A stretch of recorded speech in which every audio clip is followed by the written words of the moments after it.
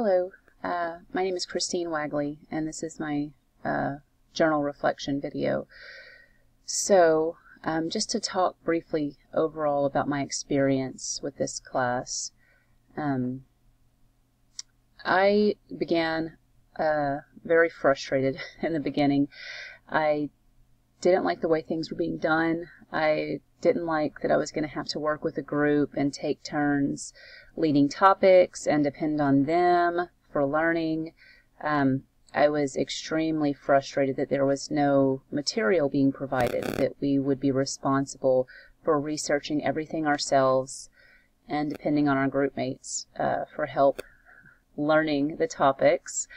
Um, I considered dropping the course, but I knew that it was a requirement and I needed it.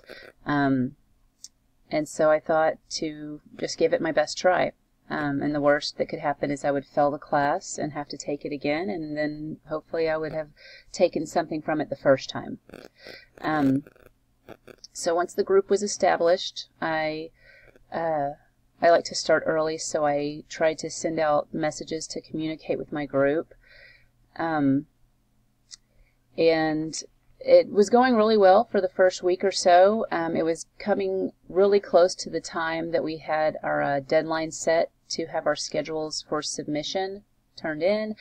Um, and so we had written a schedule. I had uh, created a Google group for us. We were going to meet on Hangouts, um, and this was decided.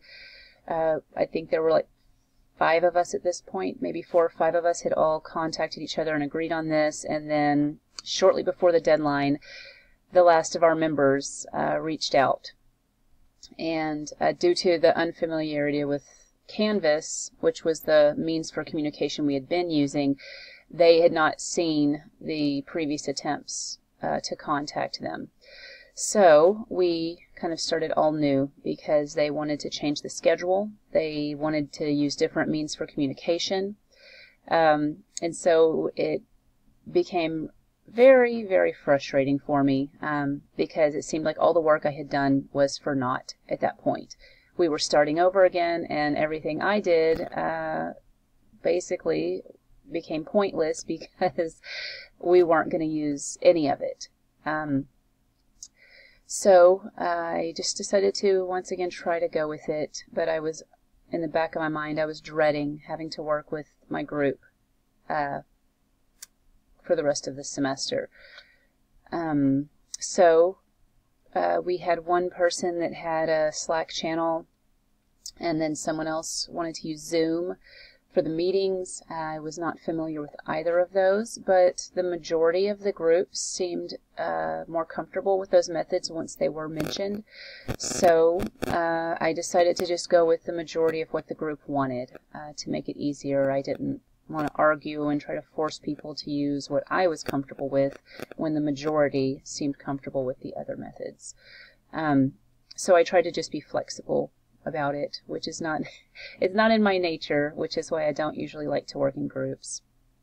But um, things started to smooth out after our first meeting. I presented uh, my topic in the first meeting we had, along with a couple of other group members, and I was I felt very inadequate, but it went well, um, and everyone seemed to take away things from it even though I felt like I had nothing to offer, apparently I did.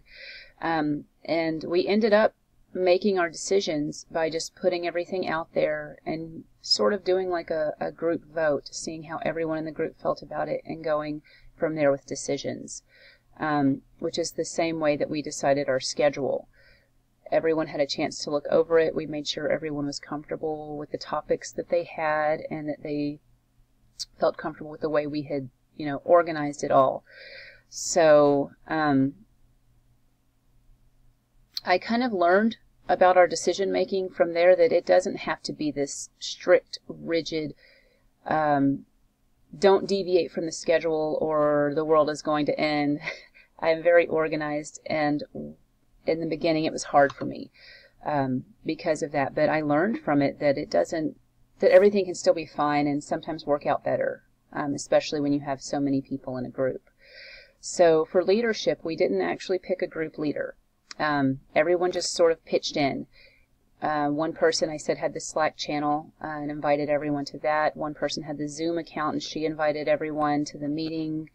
Um, and from there, if there was ever an issue, uh, we all kind of worked together.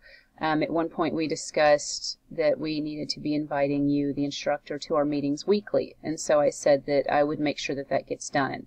Um, and everyone kind of ended up just wanting to pitch in with that too. So sometimes I would send the invite, and sometimes our other team members would. Um, but it it was I think it was an advantage because it really helped uh, our flexibility and it gave everyone a chance to sort of pitch in and feel like they were giving as much as the other group members. Um, the challenges, we did face a few challenges um, between some of the members not being as prepared. Um, we had members, I think more than one, were like getting married during this semester. A couple of them were moving across to like different states. We had uh, some people changing jobs, and so it became difficult at times to work out uh, our schedule, and some of them had to miss some of the meetings, but for the most part, um, they would let us know if they weren't going to be there, and we would make sure that the topic got covered as much as it needed to if they were missing their chance to present. Um, and we also tried to uh, allow multiple opportunities for people to make up their topic presentations if they did miss it.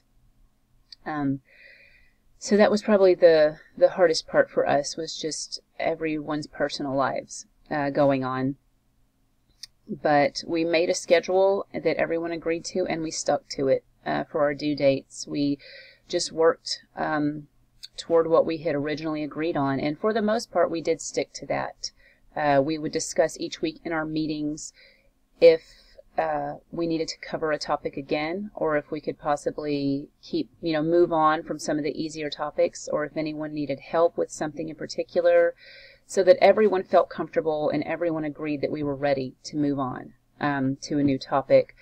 Um, so I think our high was probably about mid semester when everything started coming together, and we all see how saw how easily we could work with one another and how willing everyone was to participate and how being on different levels as far as our knowledge of CIT, we were able to help out in different areas. Um, I learned, I had some people ask me about my code and say that it was helping them. Could I clarify something? And they were using it to try to improve on their own. And that really helped me because in the beginning I felt that I had nothing to offer to the group. Um, and I thought maybe I would just be a way on them that you know, they would be burdened by my lack of knowledge. But I did learn that I, I had more to offer than I thought. Um, and I learned not to be so rash in my judgments um, because I was frustrated in the beginning and I, I suffered because of that and I made judgments that I, I shouldn't have made. So through this whole thing, I learned uh, to be more flexible. And for this type of work, um, computer information technology especially, you need to learn to work with a group. You need to be flexible. Uh, you need to be patient. And this working in this is something I've never worked in this way before with teaching myself and teaching others and learning just from my own lessons and the classmates.